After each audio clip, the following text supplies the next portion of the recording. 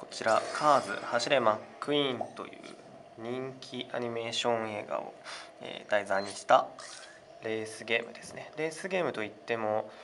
画面を傾けたり何かハンドル操作が必要なものではなくアクセルとあとはスワイプ操作だけで遊べる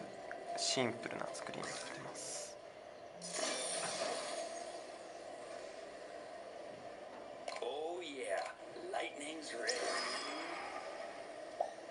Look, rusty.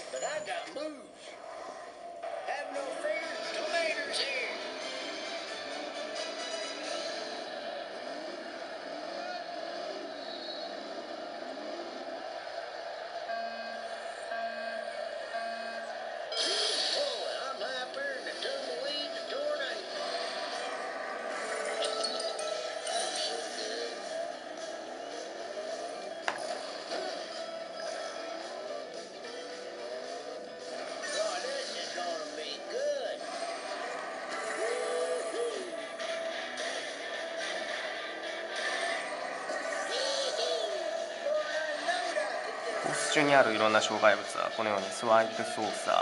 入れて回避していくっていうのが基本になります。カーブでは減速しないとぶつかってしまったりして減速してしまうんですね。それでこのカーブごとに設置されているサークルでタイミングよくアクセルを押すことで加速できるようになっています。